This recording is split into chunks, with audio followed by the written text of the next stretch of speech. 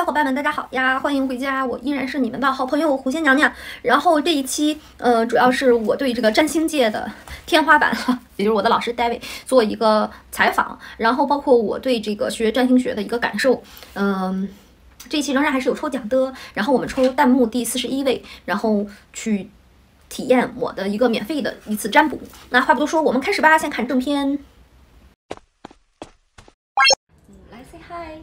Ni hao, ni hao. Hello. Ni hao. Thank you, sir, and thank you for this opportunity. okay, thanks. And complicated. It's it's hard to stick to. Yeah. All right. Uh, if you find people, if you find, you can bring this on around here. If you find people interesting, fascinating, and human nature always fascinates you, then you might have the motivation to be an astrologer. Right, But you've got to, number one, you've got to really be interested in people. Okay, so so the interesting is very important. Absolutely. Right.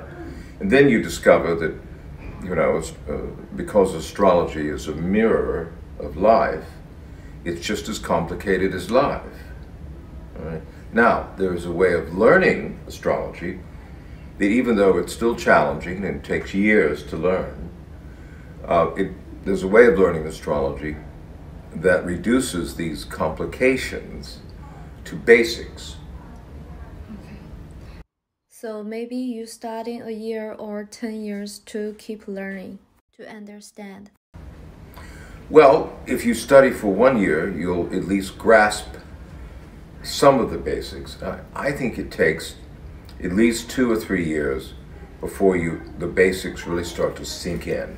Okay. Uh, the second question is, what do you want to say to the young students who's learning astrology right now? Well, I'm the wrong person to ask that question because I'm going to encourage them. I'm going to say, please continue to study astrology because it can help to guide you and your understanding of life for the rest of your life, whether you decide to practice astrology professionally or not. Astrology is a very useful, practical frame of reference for your life. It's about understanding the meaning of your life. Yes. Okay. Third question is, what is your favorite one among all the books or your books? All of my books? Yeah. My favorite one is the one I haven't written yet. The best answer. yeah. But I, I don't know. Um, there's or things. or which book you, you would like to recommend to the young students? well, definitely The Sole Purpose because Sole it introduces not only uh, ideas about the lunar nodes, but it also really introduces the sun because if you if you learn the keywords and key phrases in that book, those are not just for the lunar nodes, they're also for the 12 signs. See? So that book is a double learning. See? Yeah, I both. Right, right. You know, and I also like the little book, you know, Trip of a Lifetime. Yeah. That's a fun book too. Yeah, Life trip. yeah that's right. 一花剑，一花剑。 关于大卫老师呢，可能很多小伙伴儿也不了解。然后，嗯，百度百科其实也有老师的这个资料啊。然后老师的全名呢叫大卫瑞雷，然后他是美国职业占星师，他是一九七零年开始步入占星学习的，然后五年之后呢才就是呃通过这个亚特兰大市这个占星的职业考试，然后作为这个专门的这个职业者，然后现在呢就是是呃全美占星联盟，然后全美占星研究会会员。呃，研究委员会，然后还有国际占星协会和职业占星组织的一个很重要的成员。然后之前老师还是主席，然后并且也是之前在亚特兰大占星考委员会，然后四年，然后两次都担任了主席席位。所以说老师也是一个很全职的。然后我们今年好像正正正好好是呃老师执教的，就老师学习占星的五十一年。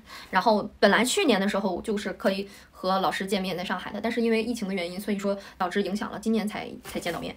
呃，老师的这本书呢，刚才在视频里有推荐过，叫《灵魂的目标》，然后我也很荣幸呢，噔噔噔噔，啊，收到老师给我签的书。然后呃这一本呢，为什么叫做灵魂的灵魂的目标呢？其实它主要讲的呢，就是你自己的一个生命道路。而且这个南焦点和北焦点呢，也是戴维老师的一个特色啊，就是呃你的前世业力啊，还有你的今生目标和追求。然后目录的索引呢，我们来看一下啊。我给可以给你们念一下，因为南焦点和北焦点呢，绝对是一个对宫关系啊。所以说，如果你的北焦是白羊，那你的南焦就一定是天秤。然后北焦白羊，南焦天秤呢，主要就是自我显露。也就是说，这组焦点两极间的主要矛盾是在我和你之间，或者是我和我们之间。因为你的安全感根植于伙伴关系和分享的基础上，所以甚至当下你对自身的利益的确认，也会因你强烈感知到和其他人相关的事情而变得复杂。行动会结束没完没了的拖延和犹豫。这就是你的灵丹妙药啊！当然，这个我只是念了这个目录的索引啊，你们也可以自己去买看一下，某宝也有卖的啊。然后，呃，第二章就是讲北交金牛，南交天蝎的，铸就永远的遗产啊。生于这组焦点的每个人身上都有很深的矛盾，他们举下决心享用劳动成果，并为自己所爱的人创造美好的生活，而命运总是测试他们的精力和耐力，以及用获取精力和耐力的看来好像又取之不竭的应变能力。然后第三是北交天秤，南交射手，就这个就是表达你的真理。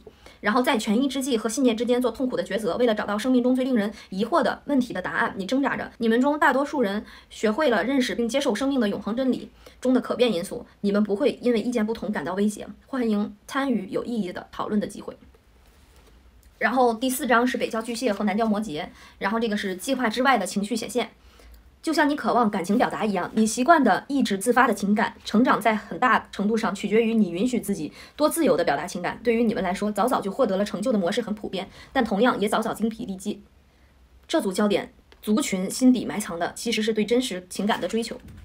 然后接下来呢是北交狮子，南交水瓶啊，意志的显现和个人的贡献。生于这组焦点的人会经常的观察与和参与两者之间的挣扎。你所拥有的生命是特殊的，这是唯一一个让你作为自己而生活的一生。除非你开始这么对待它，否则你永远无法知道你一生有多么特殊。因此，为什么不尽情的活出来？然后接下来是这个北交处女和南交双鱼啊，也叫完善灵感。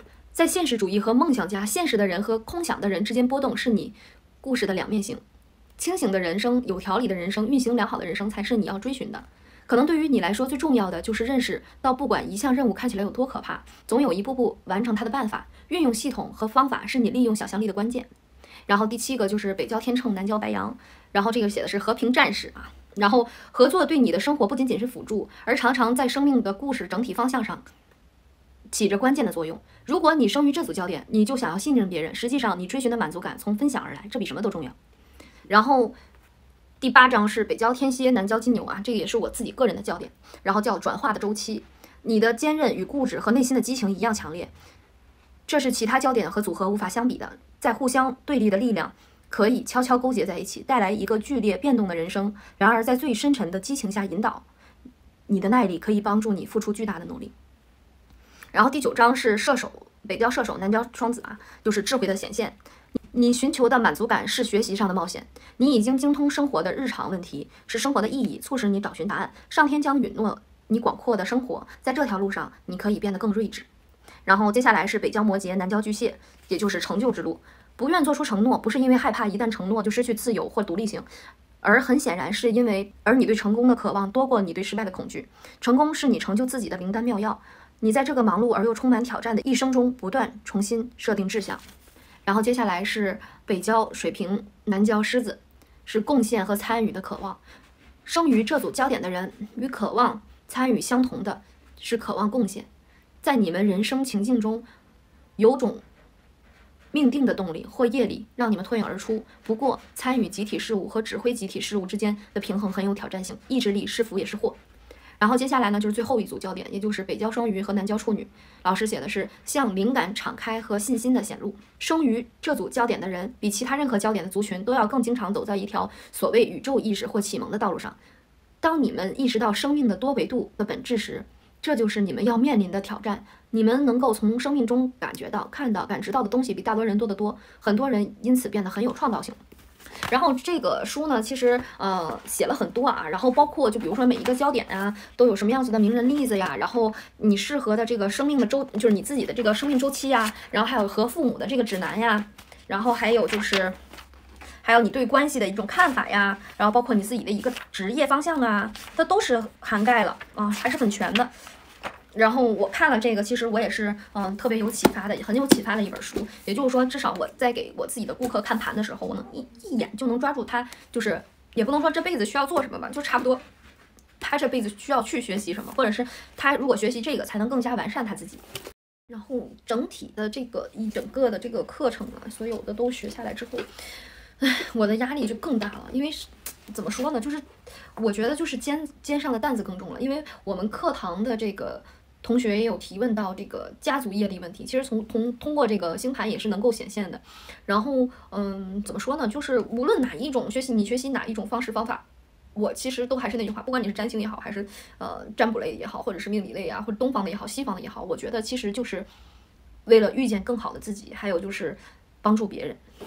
就是，嗯，尤其是你像学星盘，其实整个过程你会觉得是枯燥无聊的，因为很多的这种理论的性的知识，然后包括你还得自己也是要不断的去实践。你相比于，嗯，塔罗牌啊或者这种占卜类的，我个人是觉得这个星盘是很难上手的。就是你喜欢你，呃，是一方面吧，但是你做起来，包括你给别人做个案咨询呀、解析整个盘啊，其实是一个很枯燥无聊的一个工作啊。当然，我只是说我现在目前为止啊，但是 David 老师他的个案是那种。嗯，和我不知道老师现在还约有没有再约过个案了，因为我的朋友之前是找老师约过个案的，大概是几年前，三四年前吧。然后那个时候找老师约了一个小时，问了一个问题，呃，怎么说呢？就是老师给你的一个解答，就是一个方向，说白了就是他能更精准的去抓住你那个点，所以说一语击中啊，我简直就是。很懵，然后我看看，如果可以的话，我准备呃公开老师对我的星盘解析的那个课程教案，到时候给你们看一看。如果老师同意的话啊，当然是，然后可以给你们大家看一下关于老师说我个人的作为一个教学案例，然后来给大家分析的。我觉得还是一语击中击中重地的那种，嗯。那这期视频呢就这么多，然后呃你们有什么想看的啊？下期我是准备给大家做这个呃大众占卜，那你们是想看学业的，还是感情的，还是哪一方面的？然后可以呃发在这个公屏上，然后那就这样啦，拜拜。